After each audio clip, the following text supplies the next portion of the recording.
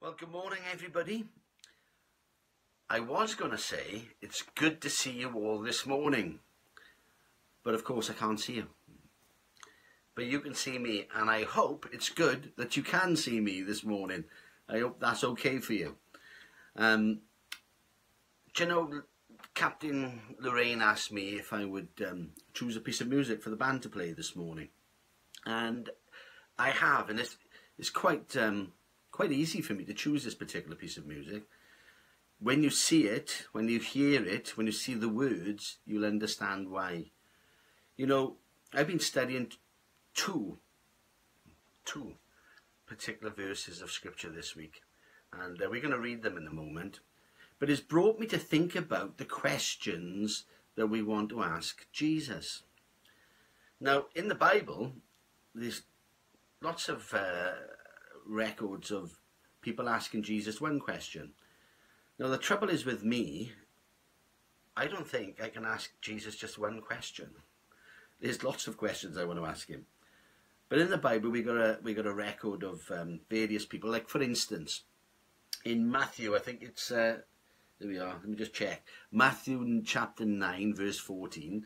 We read that the disciples of John not Jesus' disciples, the disciples of John, they went to Jesus and they said, Hey, why is it that we've got to fast and all the Pharisees have got to fast, but your disciples don't have to fast? There was one question that they asked.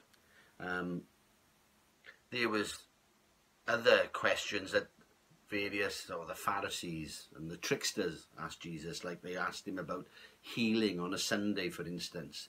Um, they somebody came as well to Jesus and asked him, Is it lawful for a man to divorce his wife?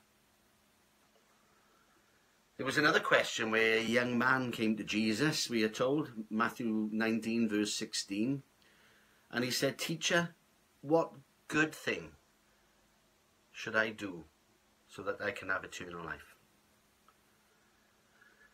One question. He heard the answer, man, and he walked away. He wasn't very happy. Uh, Peter asked Jesus a question, and um, he said, Look, we've left everything behind and we've followed you. So, what are we going to have for that? Have a read of that. Matthew 19, verse 27. Well, I've got lots of questions I want to ask Jesus.